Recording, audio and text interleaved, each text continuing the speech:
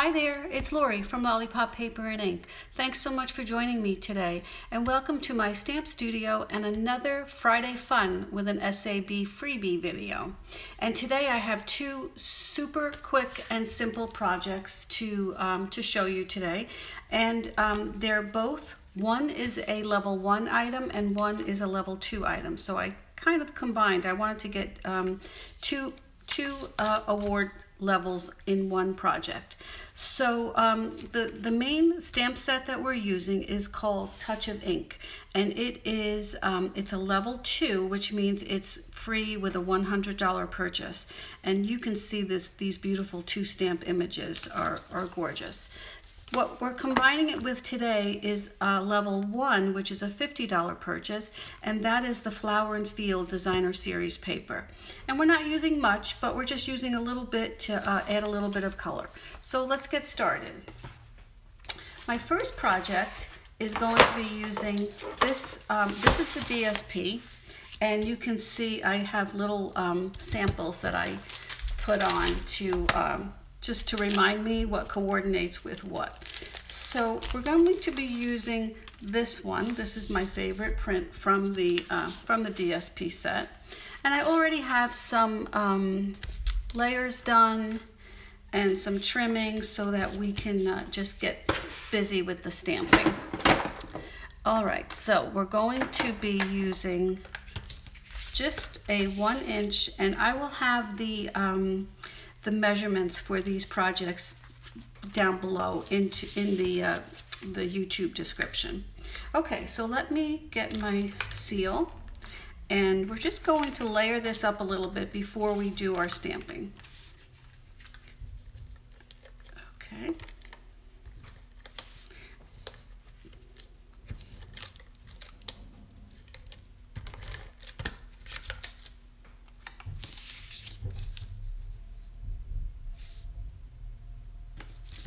Okay, I'm using Just Jade cardstock because the, uh, the background to this DSP is the Just Jade. So what I'm going to do here is I'm going to take this, um, the bird image, and the image you can see is much, much bigger than what is shown here. This is 65%, uh, I think, of what the actual size of the image is. So what I'm going to do is I'm going to stamp it right onto this uh, stitched shape square. And I'm going to stamp it in Memento.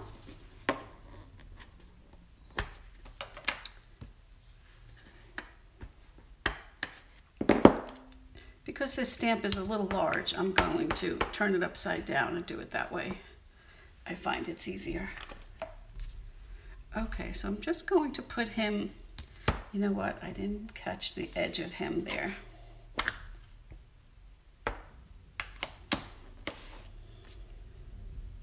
Okay, and I just want him to be just right to the edge there. Make sure he fits in all the corners. Okay, now we're going to put the second piece, the second stamp over that, and for that I'm going to use So Saffron ink. And that would be this image here which just looks like a blob but uh, it comes out really pretty. And you don't have to be exact with this. Otherwise with two-step I usually do um, use my Stamparatus but these are pretty abstract as far as where they're um, how they're covering the image so you don't have to be too worried about it. I just wanted to add a little bit of color. That's it for that. Okay, so let's take the black, the Memento Black back out and we're going to um, just stamp the image on this little tiny square. Same thing from the um, stitched shapes dies. And I'm gonna pop that guy right into the middle. He fits perfectly there. Okay, so let's just layer some things up here. All right, so I'm going to put this, I really just want this as a background. So let's put this on first. I don't have to worry about any ribbon going on. So I can get this up now.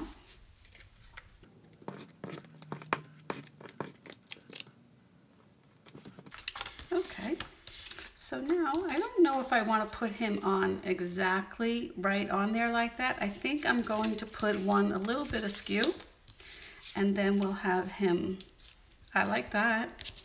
And then we'll pop him up with some dimensionals.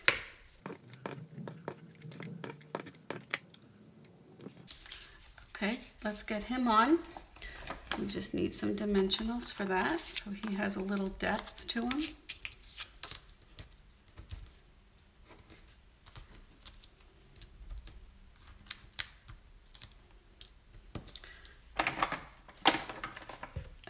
Okay, let's get those off.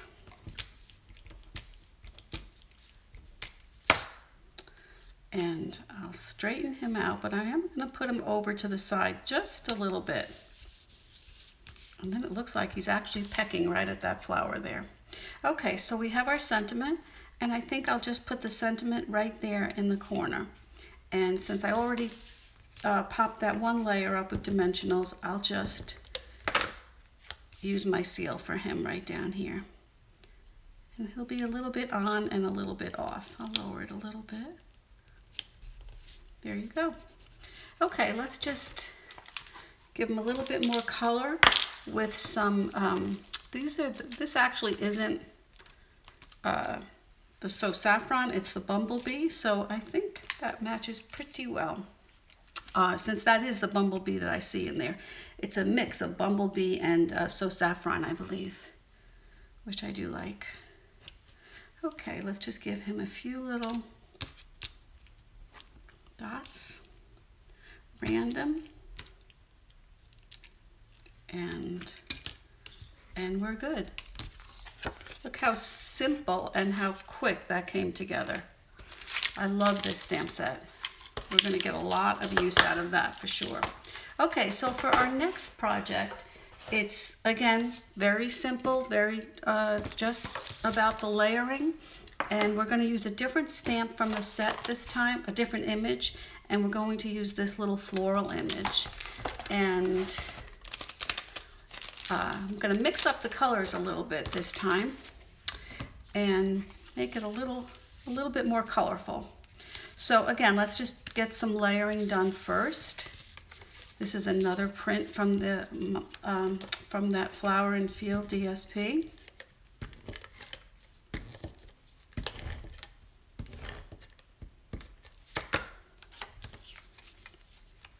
This is Pool Party. And like I said, I will have all of the um, measurements there for you in the description below. Okay, so this is the one we're going to do some stamping on. And uh, so I want to take out this big stamp and then we it's two-step again, so we will be doing a little bit um, of both. I'm going to put both, um, I'm not going to use the black outline, I'm just going to use this straight from the pool party ink pad and we will just ink this up. I just wanted to give a little bit of background color uh, to pick up the pool party in the flower here. And that's why I use the pool party cardstock too.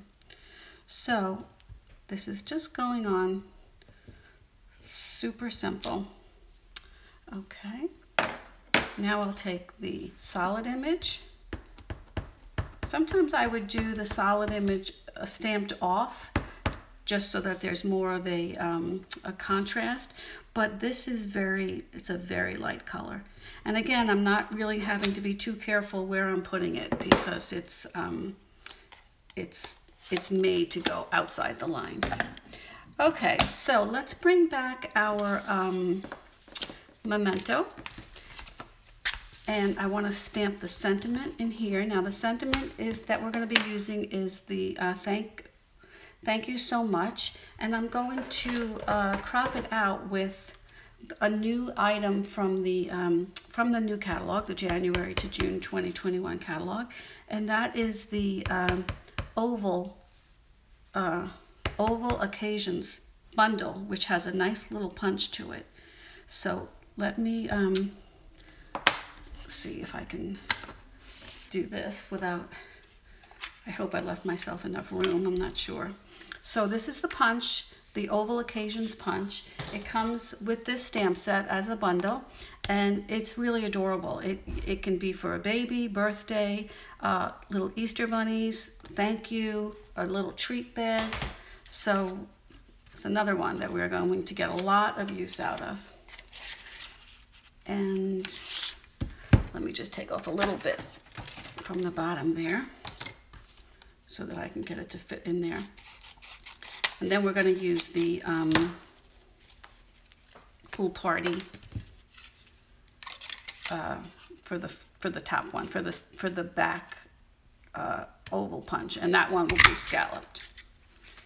Okay, so I just have a regular piece of scrap of pool party. We just want something to back that up a little.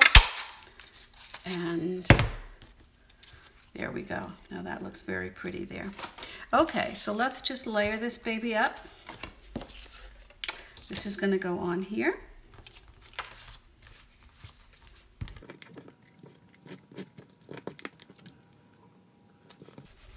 Okay.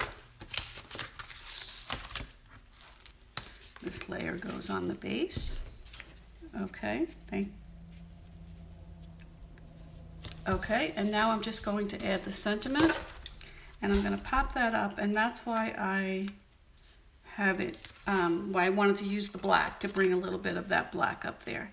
So let's just add the back scalloped edge on just with our adhesive and then we're going to pop up the actual sentiment part with um, dimensionals. Oh, I, I keep coming up with little ones here. Come on, I must have a big one here somewhere.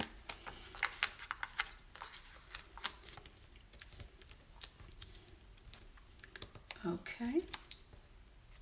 Oops. That was a bad one.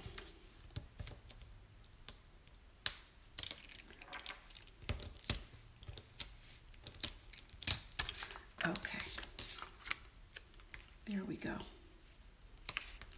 And now you have a cute little thank you card using both the um, Touch of Ink and the Flowers and Field DSP. Let me show you a few extras that I had made um, before just to add to my collection. And um, so we, these are the two that we did today. And I did this one here, same thing. I used the uh, floral image, and then there's this cute little, uh, a little dotted background stamp. And I just kind of did a little, did a little fill in on that, on that side. And that has a nice sized uh, best wishes also. So this set has really beautiful sentiments also.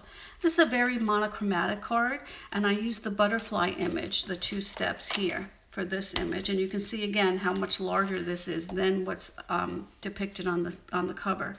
And uh, this was all done in Bumblebee and then I just fussy cut around the um, dragonfly. So um, just to give him a little uh, dimension to pop him up on that little fencing uh, wood piece trim. And this was uh, one I had started out with and then I, I kind of liked it, I wanted to lighten it up a little bit. So same, um, same idea though. We just lightened it up with different colors and then moved around the layers a little bit. Okay, so I hope you enjoyed my Friday fun with an SAB freebie today. And um, come back next week. We'll have another, uh, I don't know if I'll be combining two, but we definitely will have uh, a few projects with at least one um, Sale-A-Bration freebie item. Okay, thanks so much for joining me again. Have a great day. Bye-bye.